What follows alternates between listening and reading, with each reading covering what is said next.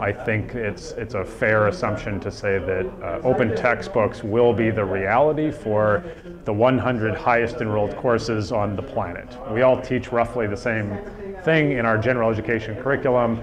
There will be five, ten versions of every one of those textbooks. The question is, uh, how fast will we get there? Will that take 10 years or will that take 10 months? And depending on uh, how we structure ourselves, uh, how we set goals, how we set strategy, um, that will determine how successful and how fast we can how, how fast we can move on textbooks, on uh, new forms of open practices and open pedagogies, on new open business models.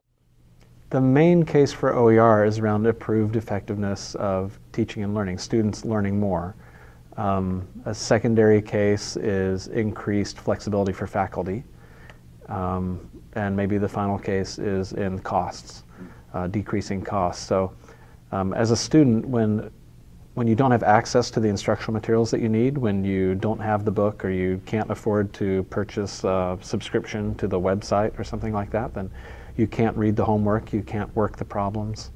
Um, and it's very hard to be prepared if you can't read before class, and if you can't even do the homework, then it's impossible to pass your class. Uh, as a faculty member, you might have four or five or ten textbooks to choose from as you're getting ready to teach a class, but that's all the choice you have. You can only choose this book or that one. Uh, once you choose a book, because it's completely copyrighted, you have no control over the order that things are in there, or maybe there are examples that were written for this region, but you teach in this region and you wish you could take some things out and maybe, maybe take out photographs of the mountains and put in photographs of forests and take out examples about this and put in other kinds of examples. You, just don't have that possibility at all. But to faculty, it's the bigger choice in your classroom. It's, it's being able to do what empowers you as a teacher and empowers your students as learners. So it's, um, it's in that place where OER is that tool that we've all been dreaming of our entire careers that lets us do exactly what we want in our classroom with our students and and not have them come back to us and say why am i lugging this book around?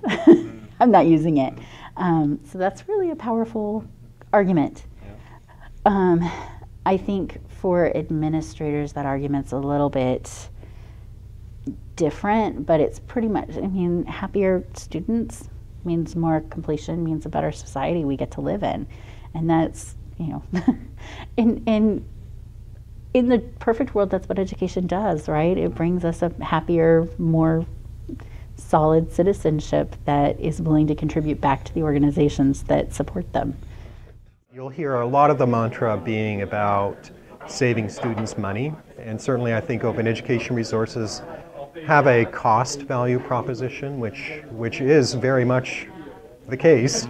Um, but, but I would say that, that that value proposition doesn't work everywhere in the world. I, I was just in the Middle East, for example, and so uh, saving students money just really isn't an issue. It's that, that value proposition doesn't resonate there.